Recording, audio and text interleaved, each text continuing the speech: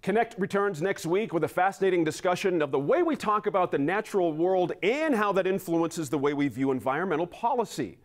The show also features a visit to the Arts Lab, one of my favorite places near campus, and historian Paul Hutton talks about the icons of the American West. Well, the story of the Old West is a very, very colorful and uh, romantic period of history. It's why I uh, was captivated by it as a child, and lots of other people have been. It's uh, it's just a great story, and the characters are larger than life, and of course the uh, forces that they were up against seem uh, so incredible, and and they actually become I think for Americans especially, uh, almost a creation myth, uh, like the ancient Greeks had uh, the story of uh, Jason and the Argonauts and the Golden Fleece, or the English had uh, King Arthur and Camelot.